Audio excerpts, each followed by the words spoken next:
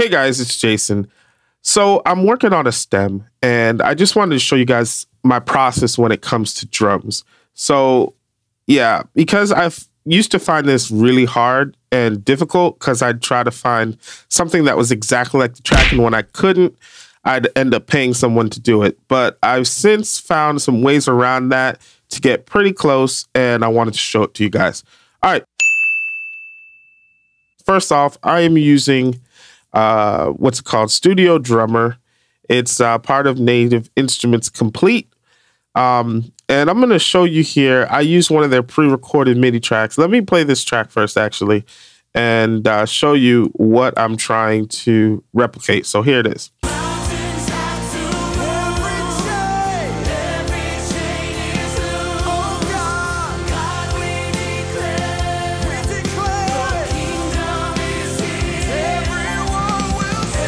All right, so that's it. Uh, so I started off with this. I used, I think, three and and one of these. Um, I don't remember which hi hat pattern I used exactly. Actually, I think it was this one. So here, take a listen. Yeah, it'd help if I didn't have it muted, right? Let me start that over. All right, here.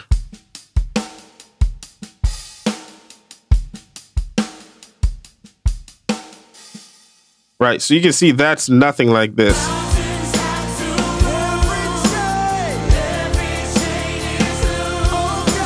Right? So what I did was what I'm really concentrating on with these is the hi-hat pattern because for me at least that's something that I cannot replicate. So I try to get a good hi-hat pattern and then I edit. I'm going to edit the um, snare and the the kick drum in to match this. So from here, I'm gonna play this one more time.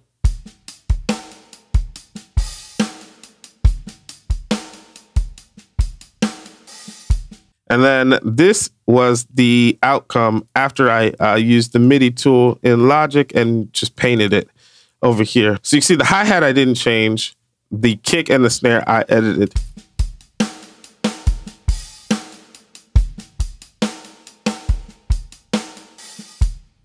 Right, so listen to the track with it together.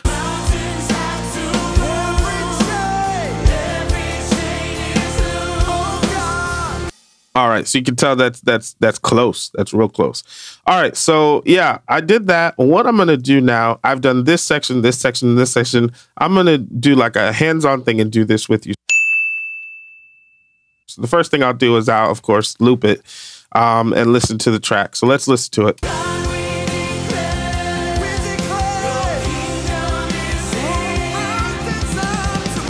All right, so yeah, so I'm gonna do one verse or one measure at a time.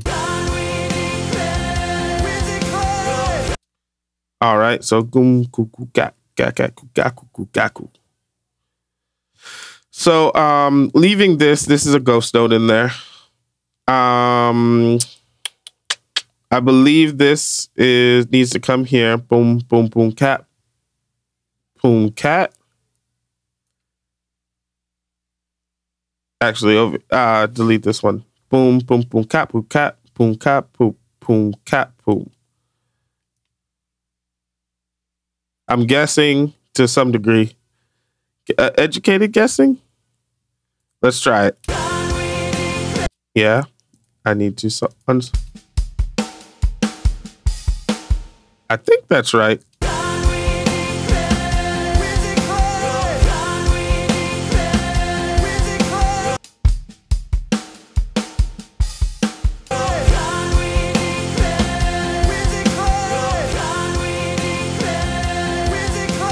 Um, cat, cat.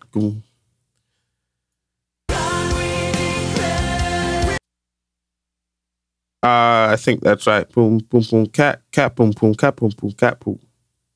Um, this is a ghost note. So, well, let's listen to it. All right. Yeah, yeah, there it is. I'm gonna change this to that. Oh, let's get rid of this. All right. Yeah, the the velocity is too low. That's 106. Let's make this 106. All right. All right, I believe that is correct. And there's a there's an extra kick here on this 16th note.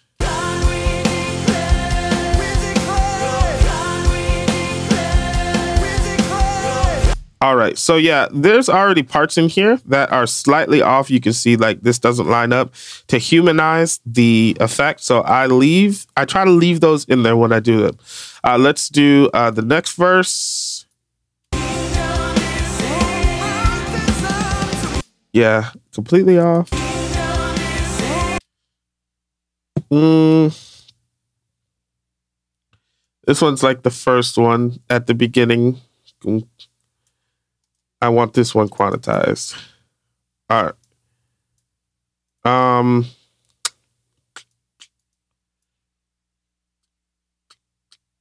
I believe this needs to be a real note. Nope. All right. Come palm, just like the first one.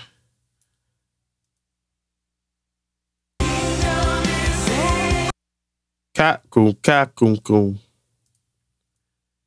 Y'all forgive my sound effects.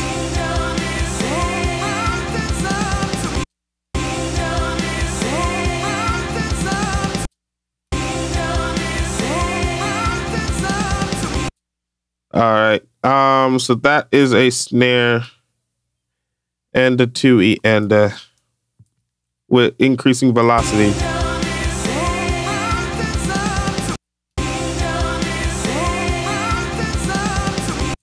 All right, and the kick, the kick pattern stays one, two, three, four. Um,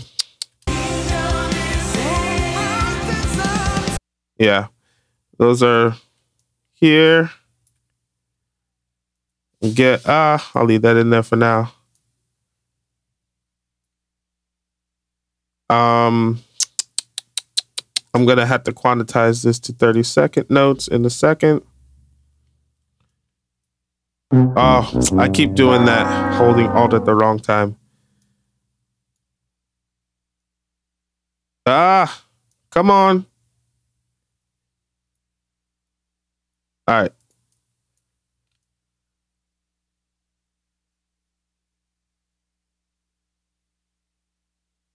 All right. So first, let me quantize this because it's going to bother me. All right. Let's listen to it. All right, cool. So I'm going to make this uh, grow. I'm going to start from around 40 and I'm going to do this arbitrarily. Um, sure. Sure.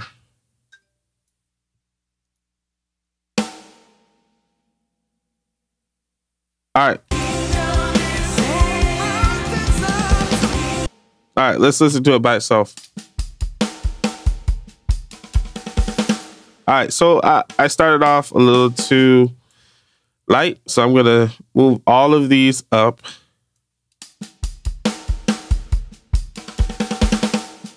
Yes, there we go. All right, so yeah. Yeah, I'm happy with that. All right, guys, pro tip and actually something I missed in the beginning. The way you get these MIDI files out of uh, Studio Drummer and the other ones that are um, part of Complete, what what are they? Like, uh, they'll pop up here. Yeah, the Abbey Roads. The way you get them out of Kontakt is um, after you click on them or double click on them, they appear here. You take this little whatever it's called, and drag it. And then you can drop it right into Logic wherever it needs to be. It's going to take the exact thing you're hearing and put it in MIDI on the track.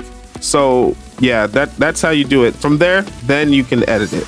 All right, guys, and that's it. That's everything. I just wanted to make this quick video to show you how you could use MIDI drums or how you could use MIDI tracks and uh, arrange them or change them so that they could be MIDI drums. Hope you liked it. If you liked it, leave a like. Subscribe for more content. Thanks for watching, y'all. I'll see you on the next one.